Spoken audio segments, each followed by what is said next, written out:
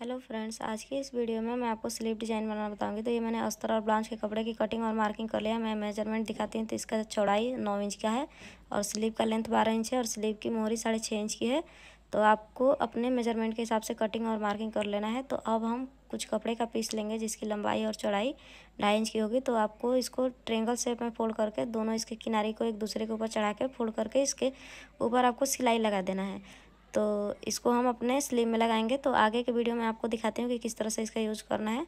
तो एक दो मैं आपको अच्छे से बना के दिखा देती हूँ। बाकी का आपको ऐसे ही बना लेना है अपने ज़रूरत के हिसाब से। तो ये मैंने अपने ज़रूरत के हिसाब से बना लिया है। अब इसको हम काट के अलग कर लेंगे। तो अब हम अपने स्लीव का जो अस्तर वाला कपड़ा है इसको हम लेंगे।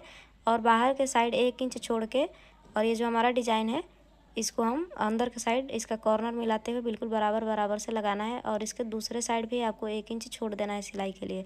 अब इसका जो एक्स्ट्रा फैब्रिक है बाहर का, उसको हम काट लेंगे। तो बिल्कुल आपको बराबर से जो एक्स्ट्रा फैब्रिक है, इसकी हम कटिंग कर लेंगे।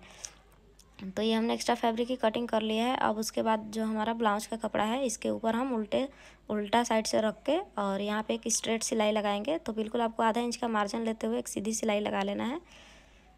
तो देखिए, यहाँ पे मैंने एक सीधा सिलाई लगा दिया है। अब इसको फोल्ड करते हुए नीचे के साइड, इसके ऊपर भी एक हम सिलाई लगा देंगे ताकि जो ये हमारा डिज़ाइन है, बिल्कुल अच्छे से बैठ जाए। तो देखिए, इसके ऊपर भी एक हमने सीधा सिलाई लगा लिया है।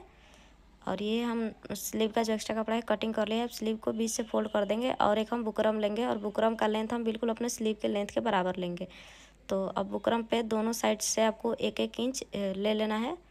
तो एक एक इंच पे मार्किंग करने के बाद बीच का हम नापेंगे तो ये हमारा साढ़े नौ इंच का है तो इसको हम तीन पार्ट में बांटेंगे तो ये हमारा ढाई इंच से थोड़ा ज़्यादा होगा, लेकिन आपको ढाई इंच पे मार्किंग करना है और बीच में आपको आधा आधा इंच एक्स्ट्रा ले लेना है। मैं आपको दिखाती हूँ किस लिए।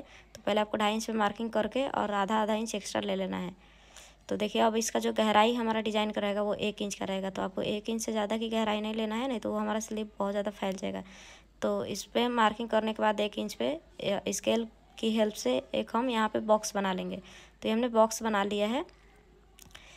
तो अब देखिए, अब ये जो हमने तीन बॉक्स बनाया अब इसके बिल्कुल सेंटर से आपको मार्किंग करना है।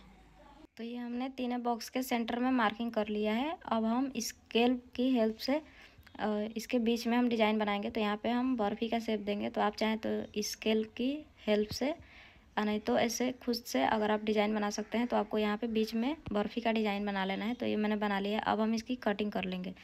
तो बाहर के साइड आपको आधा इंच एक्स्ट्रा लेके कटिंग करना है। तो मैंने इसको एक अस्तर वाले कपड़े पे पेस्ट कर दिया। अब हम स्लीव को बीच से फोल्ड करके इसके सेंटर में एक सीधी मार्किंग करेंगे। तो ये हमने एक सीधा मार्किंग कर लिया है। अब इसके ऊपर हम इसको रख के और पिन लगा देंगे। तो अब हम यहाँ पे सिलाई लगाना स्टार्ट करेंगे। तो जिस शेप में हमने यहाँ पे बर्फ़ी का शेप में कटिंग किया है, बिल्कुल आपको उसी शेप में सिलाई लगा लेना है। जो ये हमने तीन कटिंग किया है सेप उस तीनों पे आपको सिलाई लगा लेना है। तो देखिए, आपको बिल्कुल बराबर बराबर से सिलाई लगाना है। तो ये हमने सिलाई लगा दिया। अब इसको फोल्ड करके और इसमें का जो एक्स्ट्रा फैब्रिक है बीच का, उसको हम इस तरह से काट के निकाल लेंगे। तो तीनों बॉक्स का जो एक्स्ट्रा फैब्रिक है, इसको हम काट के निकाल लेंगे। तो देखिए, ये जो एक्स्ट्रा फैब्रिक है, ये हमने निकाल दिया है। अब इसमें हम छोटे छोटे बाहर के साइड कट्स लगा देंगे। ताकि जब हम इसको पलटेंगे तो ये बिल्कुल हमारा फिनिशिंग के साथ सीधा हो जाएगा। तो तीनों जो ये हमने कटिंग किया है बर्फ़ी का सेप इसमें आपको किनारे किनारे पे ए, ए, कट लगा लेना है और इसको इस तरह से बीच से आपको कट के अलग कर लेना है। अब इसको हम अंदर के साइड इस तरह से फोल्ड कर देंगे। देखिए आपको अंदर के साइड बिल्कुल फिनिशिंग के साथ फोल्ड कर देना है। फोल्ड करने के बाद इस पर आप लोग आयरन ज़रूर लगा लीजिएगा इससे हमारा फिनिशिंग बहुत ज़्यादा अच्छा आता है। तो इसको नीचे के साइड फोल्ड कर देंगे, बाद में हम इस पर तुरपाई कर लेंगे। तो अब एक, इसके ऊपर भी हम स्टिचिंग लगाएँगे।